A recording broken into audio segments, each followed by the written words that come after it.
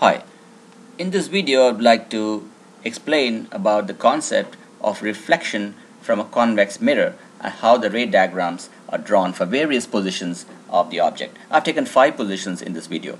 So we draw a convex mirror first and we plug in the principal axis passing through the center of the mirror vertically. So you can see a point O there and O is the center of the mirror from top to down and you can see that the mirror has a white uh, line and a blue line and the blue line is kind of uh, trying to show the reflective coating which enables the glass to reflect.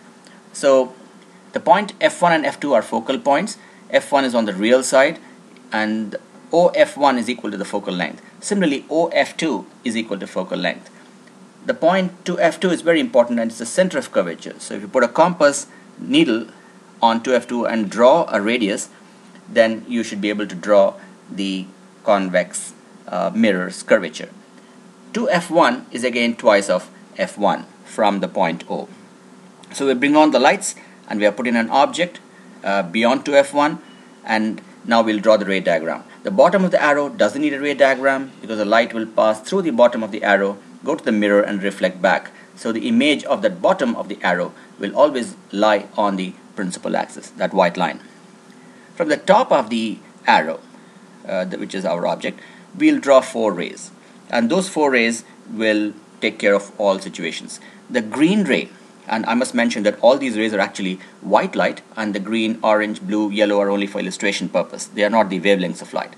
The green ray is parallel to the principal axis and when it reflects, such a ray will reflect in such a way that its dotted line hits the focal point F2 the orange ray is aimed towards the center of curvature 2f2. So it strikes the mirror at an incident angle of 90 degrees. Therefore, the angle of reflection is also 90 degrees and the orange ray comes right back to the tip of the arrow. You don't see a, another orange ray coming out at a different angle. The blue ray is aimed at the focal point f2 and therefore it reflects back parallel to the principal axis. So in a sense, the green ray and the blue ray are mirror image of each other. The green ray was parallel to the principal axis, it reflected such that it's aimed at f2. The blue ray was aimed at f2 and reflected parallel to the principal axis. Now coming to the yellow ray, the yellow ray is aimed at the center of the mirror. So in this case, the angle of incidence is equal to the angle of reflection. So the yellow ray therefore is going down below. Now extend these rays backwards and you can see a virtual image forming there which is imaginary, erect and diminished. So there are three things that we'll talk about an image. Is it real or imaginary? If the dotted lines are meeting then it's a imaginary image, virtual image and is it erect or inverted and is it small or larger. Now let's take a, an object exactly at 2f1. So we are trying to bring the object closer to the mirror. We do the same thing, bring the lights from the left and we draw the same four rays.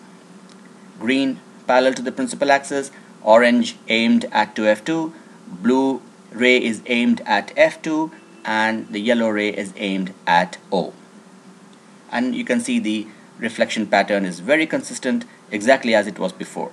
Now extend those four rays backwards as dotted lines and you can see the image formation.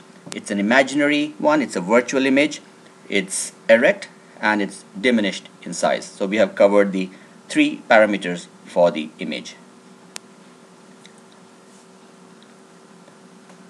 Next we will bring the object even closer to the mirror. We'll follow the same principle. We're not going to do anything new. Once you're used to this, you can do it very easily. So here's the object between 2f1 and f1. Bring on the lights from the left the rays of light will go from left to right therefore because the, the lights are behind the arrow and uh, we draw the four rays that we have drawn before. The green ray, the orange ray aimed at 2F2, the blue ray aimed at F2 and the yellow ray aimed at O. In a real exam situation of course you would draw all these rays as white rays because uh, here it's only for example and these are not the wavelengths of light and when you extend these rays back you get your image which is virtual it's erect and it's diminished in size So we have covered the three parameters required for an image. It's really quite simple. Now we will bring the object even closer to the mirror and place it exactly at the focal point f1 and let's see what happens uh, in this case so the object is on f1 we will draw the same four rays that we did before. There is no change. And we should get the result as well in the same manner. So there you are. The green ray the orange ray blue ray and the yellow ray. And as we extend them backwards we get the image which is once again between O and F2 it is virtual it is erect and it is diminished in size. So we are seeing a kind of a consistent pattern for the image. No matter where we keep the object we are getting the image in more or less the same position and type. That's good. Now we will go to the last position where we have brought the object even closer to the mirror.